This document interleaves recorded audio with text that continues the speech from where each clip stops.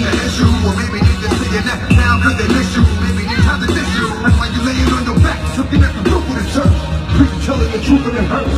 Now I'm me lose my mind. Up in here, up in